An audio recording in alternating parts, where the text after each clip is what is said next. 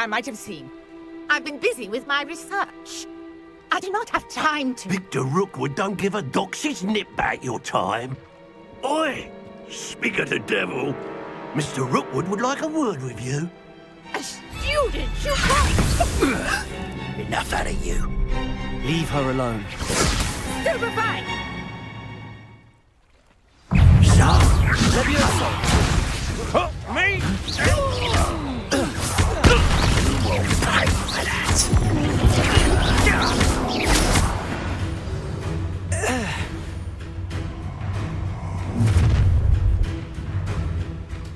Oh, I'll watch the light go out of your eyes.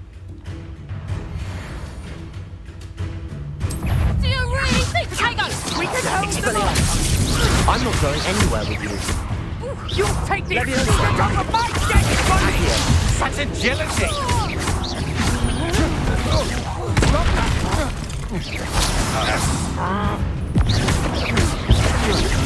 Levioso!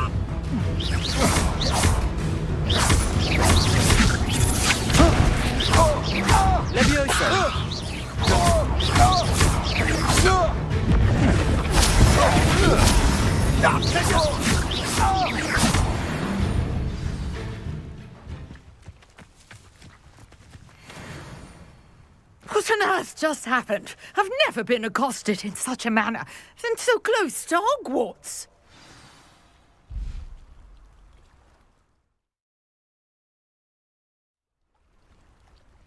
Are you all right? I am, thanks in no small part to your excellent defensive skills. Care to tell me why two Ashwinders were ready to dispatch me to get to you? Ashwinders. Victor Rookwood's thieves and extortionists, his little cronies. They seemed quite keen on you. It's a long story, but thank you for your help. Hmm. Well, you've avoided them for the moment. Priya warned me things were getting dangerous. Best get moving on my research before they return. You mentioned someone named Priya. Yes, my wife. She's the one who piqued my interest in Merlin, gave me a book when we were students at Hogwarts. Typical hard-working Hufflepuff, brilliant potioneer, has her own shop in Knockturn Alley. She's a travelling vendor. Here's what's going on in the Highlands before I do. You're a researcher. Nora Treadwell at your service, historian and archaeologist specialising in Merlin's work and life.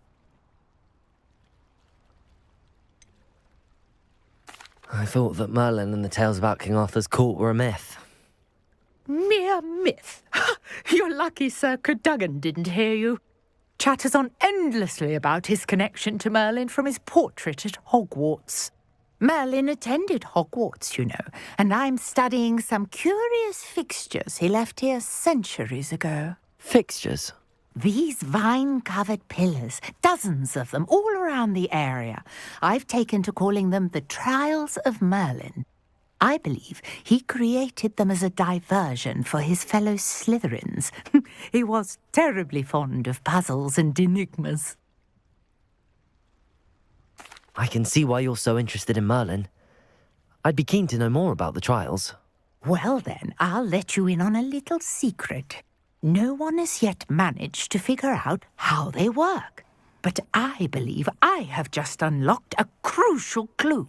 I suspect that Mallowsweet is an important component in getting the trials to work. Mallowsweet?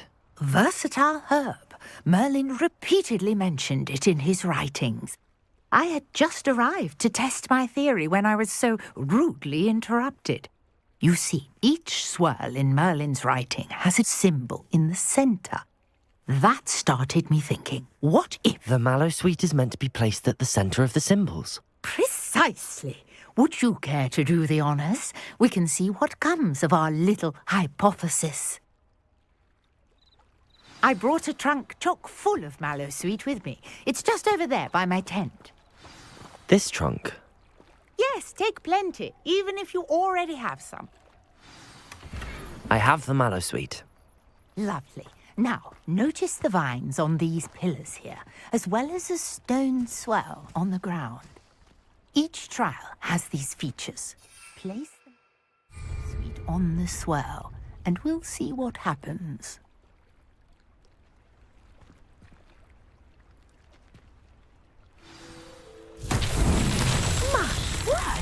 You see that? The vines disappeared. What should I do now? Hmm, this is uncharted territory. I am curious about these pyres.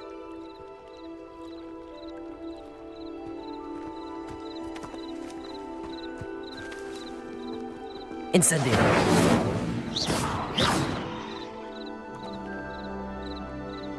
Incendio! The flames make the pyre sink.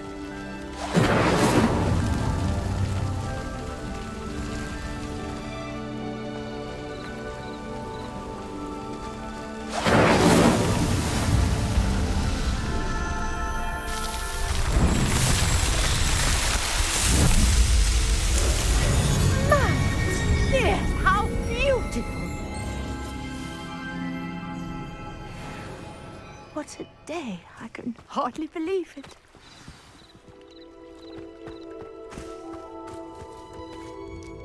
I take it we can call that a success? We can indeed. However, I now have even more questions. How does it work? I must review my notes. I may have missed something. Are all of the trials like this one? Hmm? Oh, not precisely. Well, I think each has those telltale vines and the swirl on the ground. You should feel free to solve them as you come across them. I believe I have what I need to continue my research.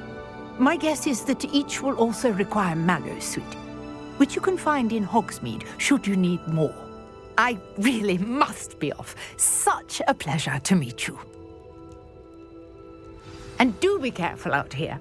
Now I've got what I needed. I shall return to the safety of my notes and books.